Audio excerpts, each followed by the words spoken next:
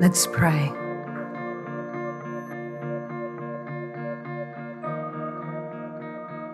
Lord Jesus, we are so humbled by these passages that we have heard.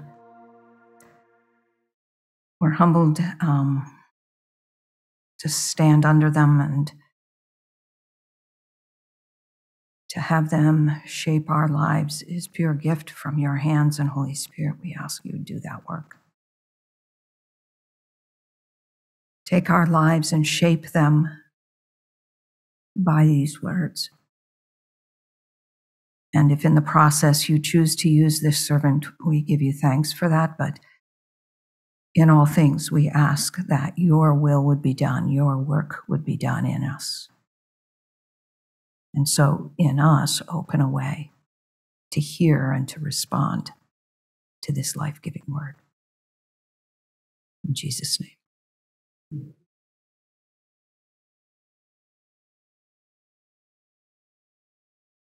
So when I was in the parish, I loved All Saints' Day because we would baptize new members, whether those were adults or children, and we would remember those who had gone on to be with the Lord. Um, usually there was a freshness about that last bit because we had buried some of the saints of the church in that given year. But it was a picture of hope, right? It's a picture of hope for these, whether it's a new life in the Lord or a new life period that we were welcoming into the community of faith through baptism, or it was um, anticipation of this communion with those who had gone before. And so we would sing great hymns of praise in the church and it was my joy to remind them that we are now joining angels and archangels and all the company of heaven. It is like chocolate cheesecake.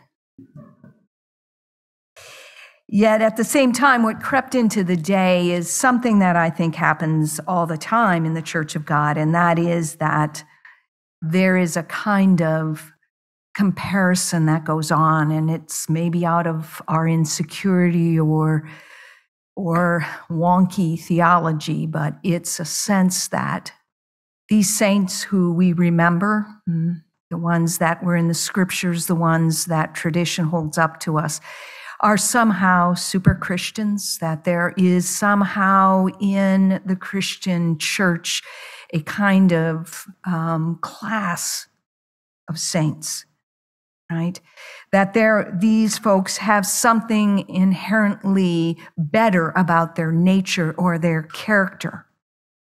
And so rather than these, these folks being these ones who are sort of held out to us by the scriptures and by the church, instead of them being an encouragement to us, we actually walk away a bit dejected and discouraged. And we that kind of comparison, I think that's just one of the things that kind of creeps into a day like this and perhaps robs it a little bit of its joy. But it forgets the fact that any measure of holiness is actually not this way at all, right? It's not horizontal at all. Any measure of our holiness, any comparison is with the Lord Himself. And in that case, we are all wanting. Even the saints of the church and the saints of the scriptures. And it misses that. A deep dive into the life of the saints gives us a picture of a group of followers who, if they do anything of worth, anything of worth, it's because they're animated by a gospel, whether it's an anticipation of that reality or the reality itself that has undone them and remade them for service to a king who is the one by the power of his spirit who animates them, who emboldens them, enables them, empowers them, and leads them. And that's what these scriptures are going to point us to over and over again today. They're going to share with, uh, they're going to take us to places where we are going to see in them our shared core identity as the saints of God. We are going to, in that community of saints, we are going to acknowledge that followership as saints in the church of God means shared suffering and that we are also, they will draw our imaginations and praise towards a shared future that speaks a profound word of hope into our present realities. So these scriptures are going to speak to us about a shared identity in the communion of saints, a shared suffering, and a shared future. So, first of all, as we are looking, we acknowledge, right? You guys are theology scholars, you are biblical scholars, communion of saints, the saints of the church of God, the people who acknowledge the Lord Jesus Christ as the one who is God's Messiah and God's rescue for the world. That through his death and resurrection, we are joined together and we are in union not only with him, but with each other. Right? And so that reality then shapes our identity. We can use a word, sort of communion is, uh, comes from the Latin word that is having in common. And sometimes we use the word fellowship or koinonia to describe that. But I'm not sure that that, for me at least, okay, so speaking for myself, I don't, doesn't give me quite the sense of uh, gravitas as the word union does when Jesus is talking in John 7 about being one with him and then one with another as a result of our unity with him. Right? And that union, that's the union that shapes us. Union with him and his death and resurrection. That's what brings this communion into existence. That's what shapes us. That's what forms us. Revelation 7 points to it. It speaks of the saints who worship at the foot of the throne on which the Lamb, which the Lord Jesus Christ sits, and it names the identity of these and all the identity that all saints share. Who are these ones? The elder asks. And John replies, You know. And so he responds, Yes. They have washed their robes and made them white in the blood of the Lamb. There is no other way to stand in this august presence, to even be in this august presence. All of us are in need of a washing that no human cleansing or detergent could achieve, no human effort at good living, no amount of moral rectitude. This is the work of another at great cost the shedding of blood, the lamb sacrificed. Even that amazing treasure trove that almost makes you weep when you read it or hear it out of Ephesians 1. That inheritance of the saints comes to us through one way, and that is shed blood. And that shapes our identity as the communion of saints. And it's a leveling thing. It's a leveling identity. Communion with others washed in this way is a humble company. And thank goodness that's the narrative, not this other comparison because it better fits the truth, tr- truest truths about us, the church of Jesus Christ. Because when we look at the saints of God, the people of God, we see our failures and how we work out our brokenness on each other, how we cling to our pride and our rights, how we shame and judge. Our faithfulness often is in fits and starts. Our own church leaders have feet of clay. And we're disappointed and angry and deeply sad that we aren't a better testimony. And we, as the church of God, are healthiest when we come to terms with that reality. When we wrestle with the fact that our communities of faith, including the clergy who lead them, are full up of wretched sinners saved by grace. It's then that we begin to find true community of humility and grace being formed in our churches. All Saints is an invitation to kneel at the foot of the, lamb, the lamb slain, whose blood, shed blood, is our making, our formation, our ongoing res- resume of faith and our hope. And there to quiet our hearts before Him, to lay down all comparisons to any other, and there to start being church because this is a community of saints who will suffer. The truest truth of our reality of being God's broken people living in a broken world is not triumphalness, triumphalism. It's not up and to the right progress. It's not your best life now. The truest truth is that our King Jesus has turned the power narrative of the world on its head. And we who follow him and seek to live by his way too often find ourselves bruised by that same world. Some of us will even lose our lives as a result of our followership. It is a shared suffering. So we have a passage like Matthew 5 that gives hope to the saints who name this king as Lord and share in his suffering. We hear a few of these. Blessed are those who grieve. So many losses, so many losses. And if you're in parish ministry, friends, you walk with people through multiple losses and you experience them yourself. Blessed are the meek. Now, those are folks who take hits in a world where the take charge, get what you want, assert your rights are the values and slogans of the day. Blessed are those who hunger and thirst for righteousness. In our world, that's probably considered naive. Doesn't play well at office parties. And in some cases, it will cost your life. Blessed are the merciful. In what is becoming an increasingly shaming, judging culture, mercy is not a value. And the list goes on. Blessed are those who make peace and often get creamed by both sides, who refuse to reconcile or to compromise. These are people who are trying to make their way faithfully in a broken world and getting beat up by that world and by its brokenness and by its distorted values. In ministry, our people are here. And don't be mistaken, friends. If you are not already there, you will find yourself there in ministry. You will experience compassion fatigue as you try to love people who are entrenched in negative patterns and addictive lifestyles.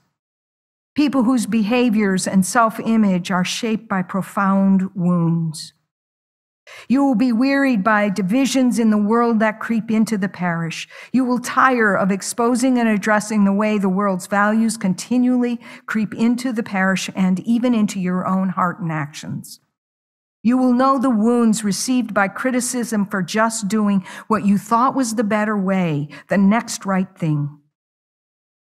Let alone living with your own failures that stem out of anxiety, insecurity, pride, and anger.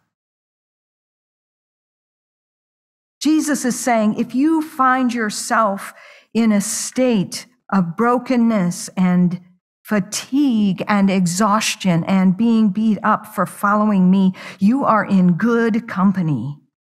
The prophets were treated the same.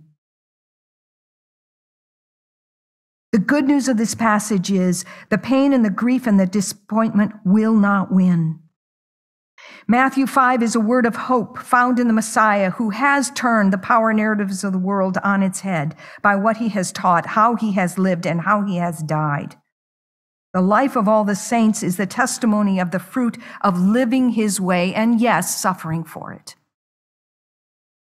Jesus asserts his lordship when he proclaims a more final word than that brokenness and rebellion. This is not the end. The future, there is a future beyond this suffering. They will, as Revelation says, come out of this suffering. He acknowledges those who suffer as having a place and a future in his presence with him they are not alone now and they won't be in the future. He vindicates them for living faithfully and suffering as they seek to do so. And in the throne room, he himself is vindicated. Because what we see on the throne is a slain lamb. The one who turns the power narratives of the world is on the throne vindicated as the one who is Lord of all. The scenes of heaven from Revelation of John are the vindication of Jesus, the epitaph in powerful images.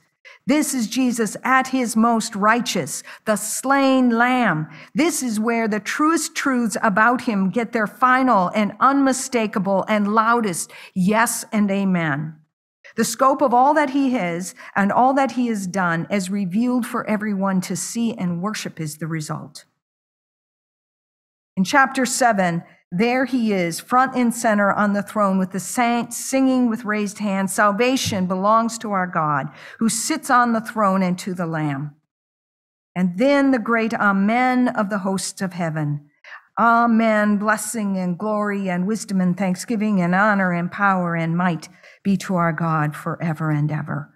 Amen. But note this too. The praise in Revelation 7 of Jesus is both for that cosmic power and might and glory and for being shepherd and healer and provider. This praise is vindication of a king who serves and dies, a Lord who tenderly shepherds. We hear echoes of Matthew 5 when we find out who is represented in this congregation. Those who praise him have known him in the worst days of their lives, full of pain and fear and deep grief, oppression and injustice. Therefore, they are before the throne of God and serve him day and night in his temple, and he who sits on the throne will shelter them with his presence. They will hunger no more, neither thirst any more. The sun shall not strike them, nor any scorching heat. For the Lamb in the midst of their throne will be their shepherd, and he will guide them to springs of living water, and God will wipe away the tear from their eyes. Do you hear that word of hope? You know, that picture in Revelation could just have been, it's all done and over. But that's not the revelation that's been given to us. Because we're still here. We're still here living as broken people in a broken world. And so what we're given in this God, in this in this revelation of John is not just the triumph of a slain lamb, but the acknowledgement that those who have gone before through the tribulation, those who have suffered, now find healing. And that's a hope for us now. These are saints who have trusted the Good Shepherd of Psalm 23 and John 10 in their life. And now they know the fullness of his healing in his presence. His vindication is ours as we live now. His reign is our hope now. That's the hope we stand in. That's the hope we live in when we're sick and tired of being sick and tired. I don't know where you are in your engagement with the world and how it's left you bruised, where you're dealing with your own fears or doubt or shame or anger and how it's left you exhausted. But this is the reigning slain lamb who is also shepherd. The vindication of his reign is the, the hope in which we stand even now, even when that reign is not complete and completely fulfilled. The shepherding presence we see for those who are gathered at the foot of that throne is the shepherding presence that is given to us even now. And the vindication there in that throne room, that living his way, this upside down kingdom way. That's a vindication that enables us to get up tomorrow morning and do it again.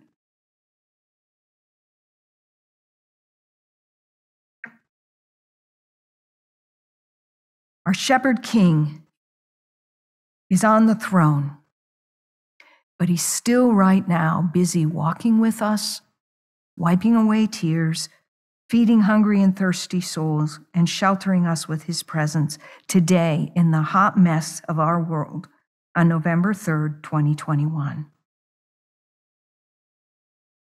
And know that is powerful and beautiful as this picture is, the same Lord Jesus wants to walk with that same tenderness and power and glory in our lives right now. Amen.